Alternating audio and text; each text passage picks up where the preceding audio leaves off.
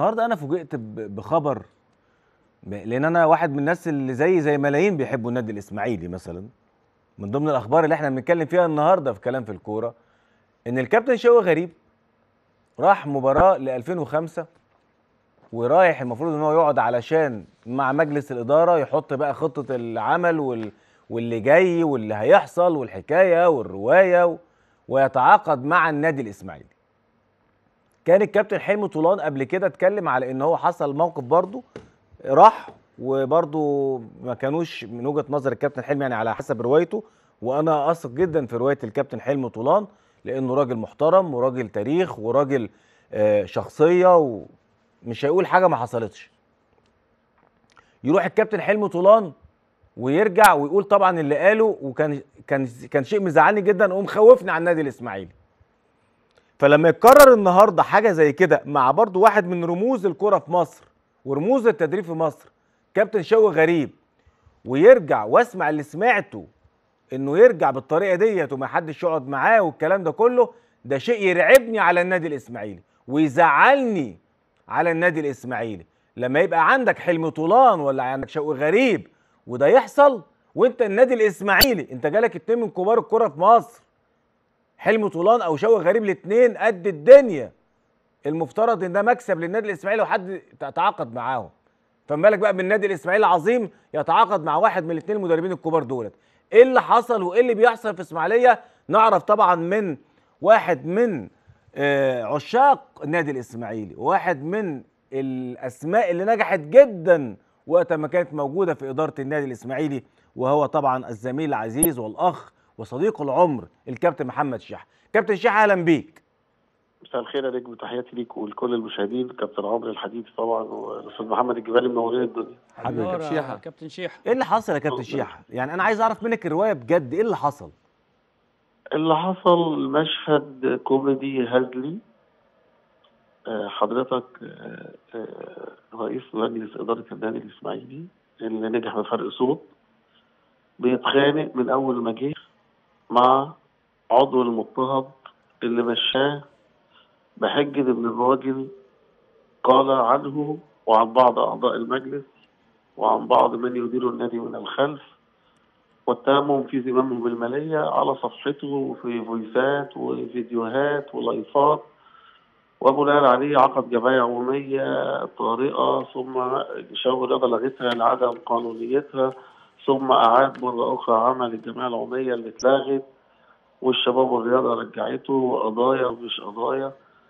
المهم إنه كلهم يعلموا إن الخطاب بتاع وقف القيد جاي من شهر يناير اللي فات وهم يعلموا جيدا ذلك. إن الإسماعيلي عنده وقف قيد نظرا لتعدد القضايا ضده ولسوء سمعته. وده حصل في أندية كبيرة جدا منها أندية في السعودية مثلا. تمام، تمام. إنك تبيع اللعيبة المهمة وما تجددش للعيبة اللي كانت موجودة وأنت تعلم جيدا إن القيد يقف دي جريمة في حق النادي الإسماعيلي ولابد أن تقف الجمعيه العموميه وقفة رجل واحد ضد المجلس اللي بيدير النادي الإسماعيلي حاليا. تمام. أرجع لحضرتك تاني. هو له رغبة رئيس النادي إنه يجيب مارك فوتي يركبوا على الجهاز بتاع ايهاب جلال.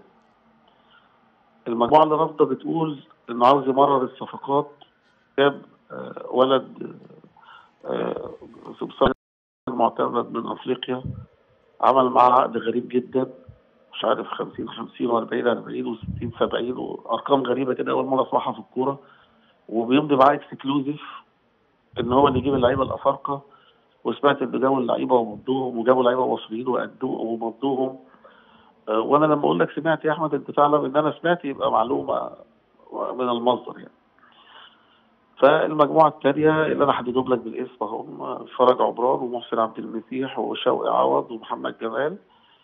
آه، رفضوا ال- اللي عاوز يعمله. رئيس النادي ومعاه أعتقد آه، أمين الصندوق وعضو مجلس إدارة. فراحوا اتفقوا بره بعد ما بوظ لهم موضوع كابتن حلمي طلال زي ما حضرتك تفضلت وسردت و- وأنا بعتذر للكابتن حلمي بناء عن كل جماهير النادي الإسماعيلي آه، على الموقف ده وده لا يمكن إلا من فعله يعني يا كابتن حلمي ما تجمعش إسماعيلية في هذا الموقف ما تجمعش النادي الإسماعيلي في هذا الموقف. تمام. إيه اللي حصل بقى النهارده. آه إيه اللي حصل بقى النهارده في موضوع كابتن هو الشاوي مش عشان النهارده عشان إحنا قدامنا بالظبط يعني. شا... ما قدامنا الشاحن ثلاث دقايق بالظبط. اتفضل. حاضر. هو مش النهارده يعني. هم قعدوا اجتمعوا في أحد الأندية على طريق البلاجات الأربعة. وكانوا مصدرين مشهد إن هم هيجددوا لاشرف خضر. تمام. فهو القعدة لا أشرف خضر لا حمد ففاجئوا الاربعه إن هم هيجيبوا شوقي غريب.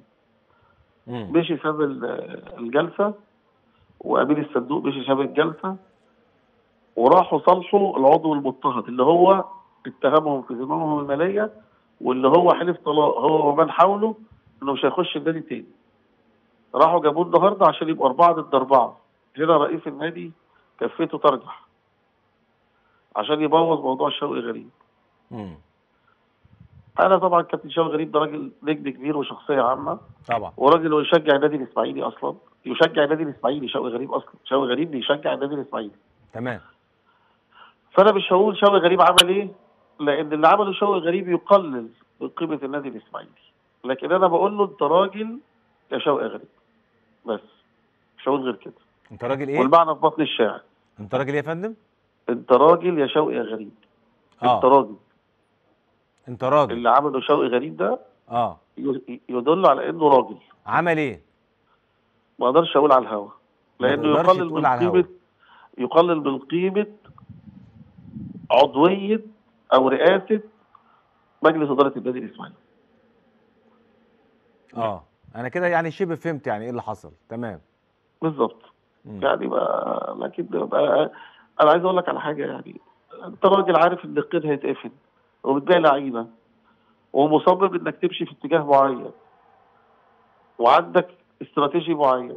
الناس اللي جنبك شافت إن أنت في حاجة غلط بتحصل. فالمنطقي والطبيعي والصحي إن يحصل اختلاف صحي. زي ما قالوا له على الترابيزة. شوقي عوض قال له قول رأيك يا فندم. طيب كده شيحة. طيب يبدو إن في مشكلة في. في الاتصال. هو عموما عشان حتى الوقت ضيق جدا بس آه، كده أنا بمنتهى الأمانة وأقولها لجمهور النادي الإسماعيلي والأعضاء الجمعية العمومية. المشهد ده مشهد عبثي ومشهد من وجهة نظري كارثي مع وقف القيد وبعد طبعا رحيل الله يرحمه الكابتن إيهاب جلال الله يرحمه رحمة الله عليه واللي بيحصل في إدارة النادي الإسماعيلي بالكلام اللي بيقوله الشيحه وطبعا أي أي حاجة الشيحه هيقولها أنا بنسبة يعني بنسبة 100% أنا عارف إن هو بيتكلم كلام صح جدا موزون جدا صادق جدا من قلب الحدث.